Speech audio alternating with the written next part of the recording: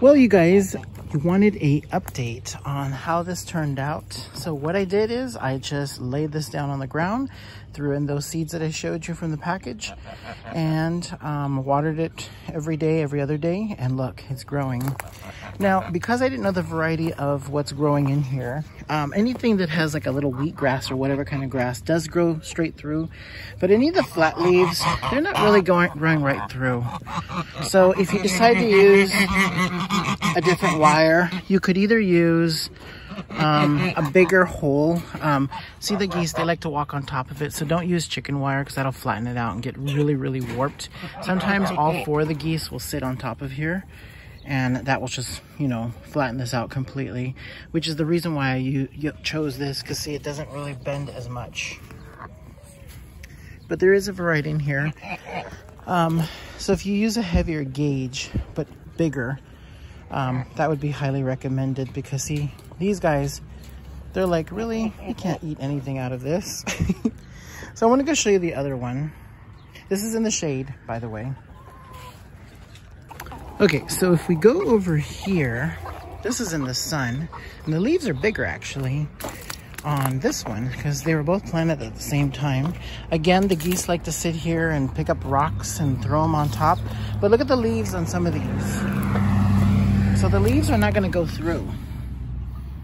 And so what I'm gonna have to do is um, probably, it's possible that I may just pick it up and move it over and let them wipe this out and just grow another harvest. Or I'm gonna get a third one in here, get it started, and then let this um, get eaten up because they're gonna gobble it within, I don't know, a half hour probably. Look at these little guys, they're like yummy. These are lavender standard size Americanas, purebreds. They're a self blue gene. But yeah, so it's doing really well. There's a variety of stuff that grows. I don't know what all of it is, but see right there? That could be like dill or something.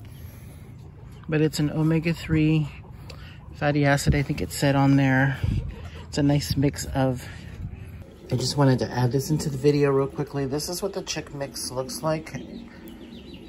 Non-GMO, increase omega fatty, omega-3 fatty acids in eggs development for free-range chickens. So you just plant, grow, and they feast. You get a pound of this. I can't remember the price of it. I want to say it's like $9.99 at your local tractor supply, but it has all the information in here. And this is what's in the mix, actually. Screen, um, pause this to know what it is. All right, back to the video. Um, Omega-3s. Okay, I think that's it for that. So that was my little update for that. Otherwise, when I do weed, out in the garden area. I do throw um, a lot of stuff in here you can see on the ground. But look what's growing. These are hey, cuties. These are snapdragons, last year's seeds.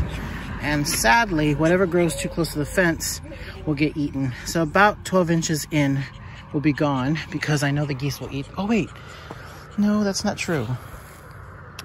You know why? Because my Sebastopols are getting rehomed.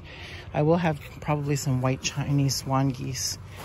Um, I've been trying to get them before. It's already end of May, so I may not do them this year. Their geese are the ones that really go in there. Chickens can only go in like six inches to pick. So there's gonna be a lot of snapdragons growing in there. They're so cute. Look how they make holes. You want to see something cute? So that lavender Americana rooster, he's a standard size. He's so pretty. That little bit of gold and yellow is from the sun. When he molts, he won't have that. He'll be lavender again. But I've been collecting all his eggs with this girl. And I'm gonna go ahead and change the clip, but you'll see it in a second.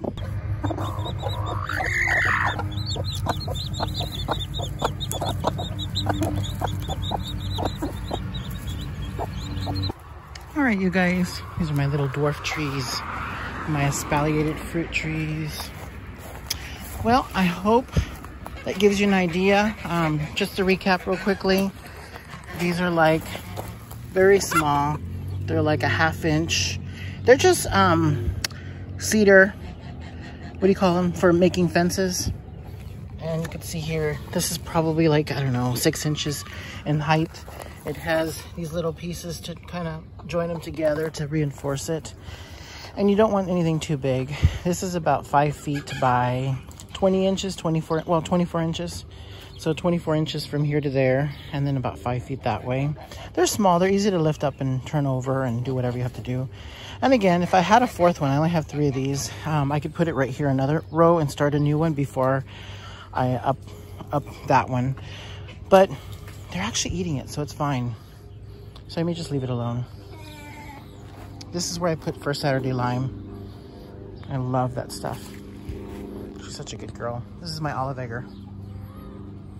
Well, thanks for watching, and um, I will try to do these videos weekly. These are so pretty. These are my lavender, or sorry, my English mottled Orpington girls.